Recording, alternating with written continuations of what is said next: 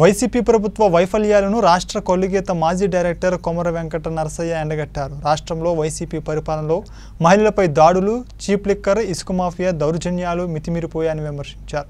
కడప జిల్లా ఒంటిమిట్ట హరిత హోటల్ నందు మీడియా సమావేశంలో ఆయన మాట్లాడుతూ రాష్ట్రంలో రాక్షస పరిపాలన నడుస్తుందని ధ్వజమెత్తారు. తెలుగుదేశం పార్టీ బాధుడే బాధుడు కార్యక్రమాన్ని చేపట్టడం జరిగింది.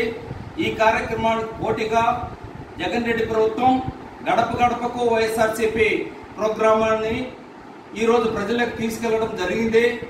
గడప గడపకు వెళుతున్న వైఎస్ఆర్సీపీ నాయకులకు ఘోరమైన చేదు అనుభవాలు ఎదురవుతున్నాయి. ఎక్కడ పోయినా వారికి గడప గడపకు బాధుడే బాధుడు కార్యక్రమాన్ని ప్రజలు రుచి చూపిస్తున్నారు. ఈరోజు గడప గడపకు ప్రోగ్రాము బాధుడే బాధుడు ప్రోగ్రామ్గా తయారైందని చెప్పి తెలియజేస్తున్నాను. నిన్నటికి నిన్న కడపలో రాష్ట్ర ఉప ముఖ్యమంత్రి అంజాద్ బాషా గారికి ప్రజలు అడుగడుగునా విమర్శించి ఆ ప్రభుత్వ వైఫల్యాన్ని ఆయన చేసిన కార్యక్రమాలు ఏవి కూడా ప్రజల్లో లేవని చెప్పి కళ్ళెదుటే ఆయన విమర్శించడం ఇందుకు నిదర్శనం. రేపటి దినం కమలాపురం నియోజకవర్గంలో మా గౌరవనీయ జాతీయ అధ్యక్షులు నారా చంద్రబాబు నాయుడు గారు రావడం జరుగుతుంది ఈ కార్యక్రమంలో కడప జిల్లాలో వైఎస్ఆర్సీపీ నాయకులు చేస్తున్న ఇసుక మాఫియా కానీ రెడ్ శాండల్ మాఫియా కానీ అలాగే పరిపాలన పరంగా తెలుగుదేశం పార్టీ అభిమానులపై జరుగుతున్న దాడులు కానీ సవివరంగా చర్చించడం జరుగుతుంది. ఈ కార్యక్రమంలో వైఎస్ఆర్సీపీ నాయకుల అవినీతి అక్రమాలను ప్రజలందరికీ తెలియజేయడం జరుగుతుంది.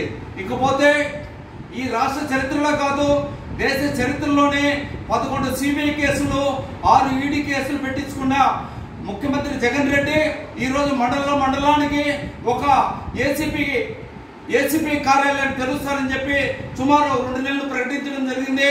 ఈరోజు ఆ ఏసీపీ కార్యాలయాల్లో ఏర్పాటు ఎక్కడ పోయిందో ఎవరికి తెలియదు.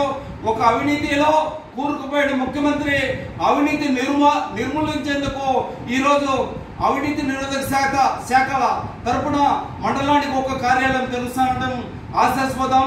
ఈ అవినీతి చక్రవర్తి రాబోయే రోజుల్లో ఖచ్చితంగా జైలు జైలుకు వెళ్ళడం ఖాయం.